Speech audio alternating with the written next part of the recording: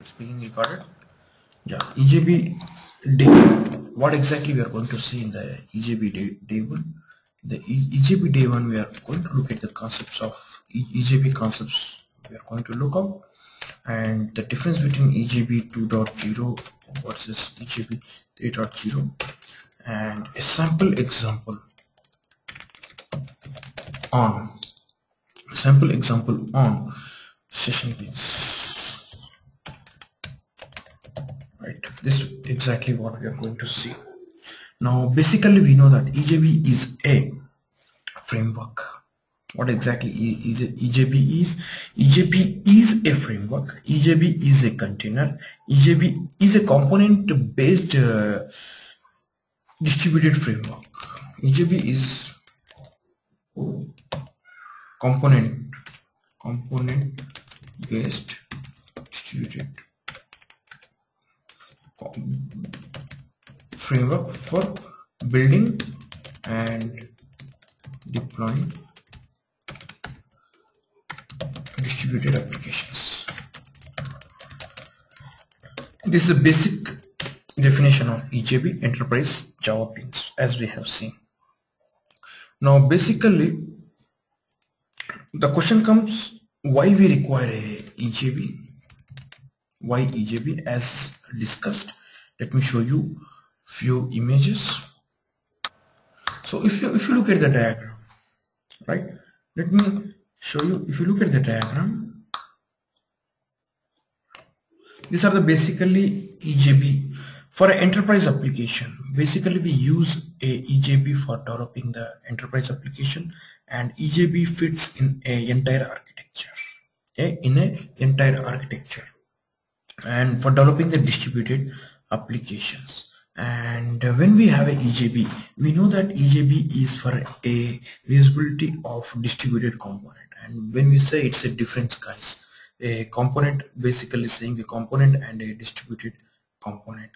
And EJB provide various services. And what they are they are the transaction service a security service a persistent service a remoteability interceptors timers state management and the messaging these are the various services of the EJB these are the various services which are being provided provided by the EJB now basically these are being being given by a container right? EJB as a container. When we say EJB as a container what does it mean? Right? EJB as a container. So when EJB as a container it provides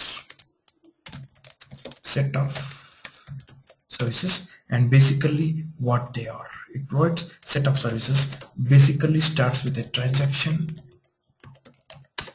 security and uh, persistence timer service which are, which is also called scheduling schedule schedulers scheduling and uh, transaction security persistence and a messaging service.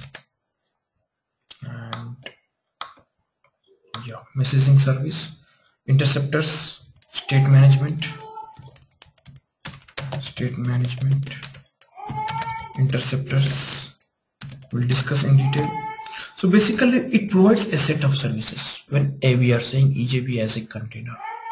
Why? Without EJB a programmer we know that why a EJB was inno- innovated right why it was developed EJB without EJB a programmer it's an overhead on the programmer. There is no reusability. It's an overhead on the programmer to write all the set of services. And where the services are not reusable. But EJB as a container when you say EJB as a container it provides a various set of services as described over here. And the EJB container is deployed on the application server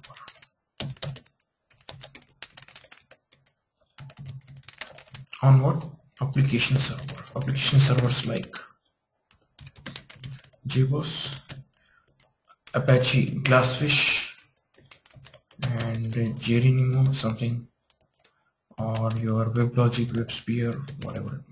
So EJB containers are deployed on the application servers to provide whatever a component is being developed. Here look at this. These are the components these are the valid user EJB or credit card check inventory. These are the various uh, services basically a credit card service a check inventory service. These are written by developed by the programmer. But when you write a credit card service apart from credit card verification you require a transaction management. You require a security right? For a credit card what you require? Basically you require a security and you might also require a persistence. Means here the programmer is relieved. The programmer is relieved from the services. The programmer is relieved from the overhead of writing all these services. So EJB providing EJB as a container provide the services and the overhead on the programmer is only to write the code. Right? To write only the business logic and rest rest depends upon the rest is rest by provided by the EJB container right? Yep. That's how a EJB works. So EJB containers are deployed on the application server and they provide a particular set of services. Now the question comes what is the difference between EJB 2.0 and 3.0 before that? Let us look at this. Yeah EJB 2.0 versus EJB 3.0 yeah EJB 2.0 dot zero. it has few things. One is uh, no.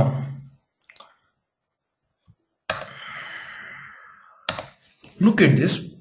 A valid user or a credit card user or check inventory EJB blah blah blah. Now assume that for this credit card EJB I have developed a component.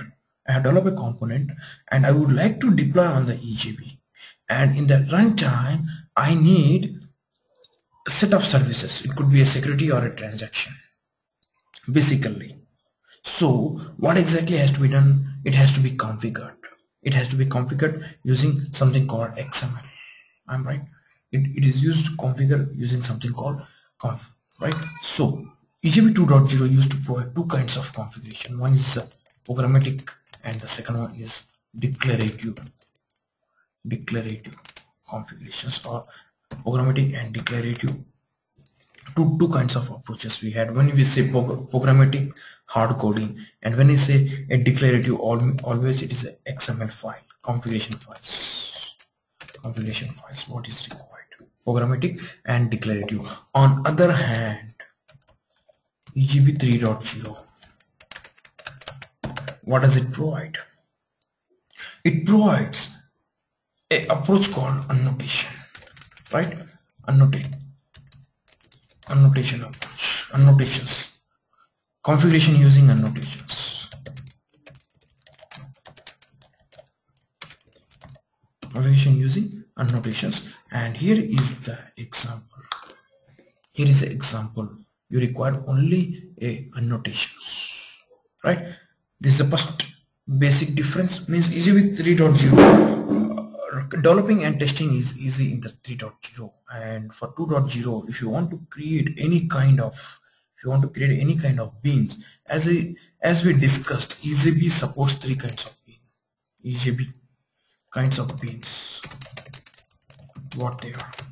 The first one is a session bean second one is a entity bean and third one is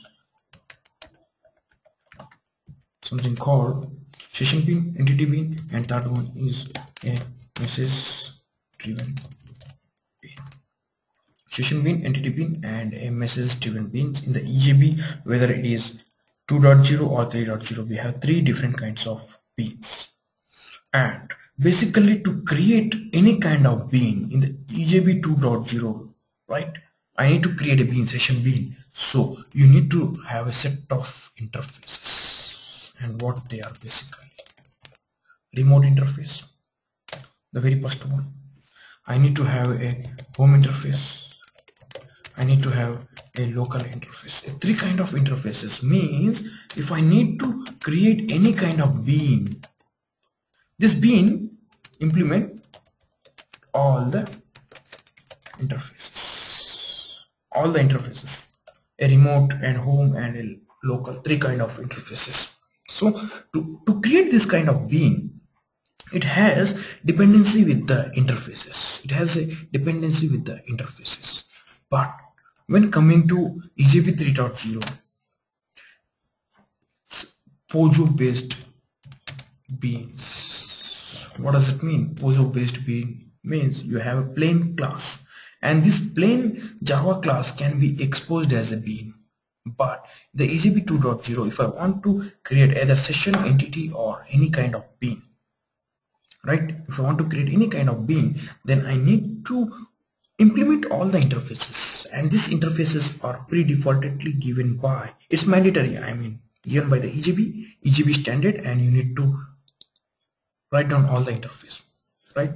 Interface and then a bean has to be implemented. A remote a remote is for the client. A home interface and local interface we'll discuss in detail later.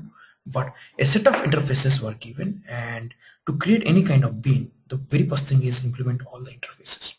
But in the EJB basically in the EJB not even in the EJB 3.0 but in the 3.1 they are based on purely POJO based beans POJO, POJO based beans POJO based bean means means you don't require any implementation you do not require to define any interfaces and you can expose a normal POJO class, a normal POJO class, a normal Java bean as a session bean, EJB bean.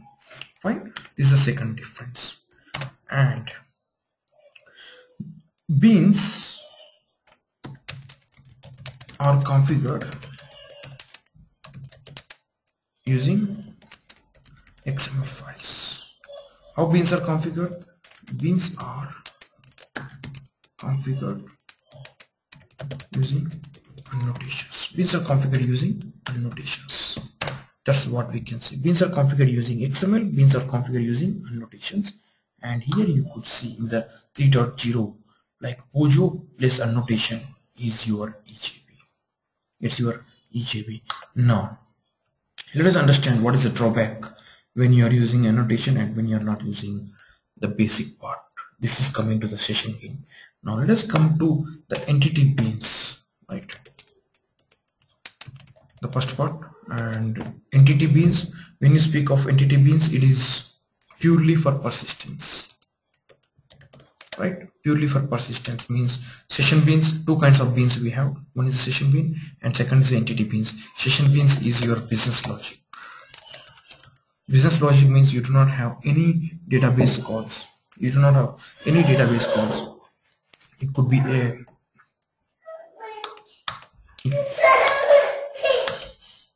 so here. So entity beans entity beans uh, basically are used for the persistence as as discussed session beans are for the business logic. Here whatever all the three things you you are saying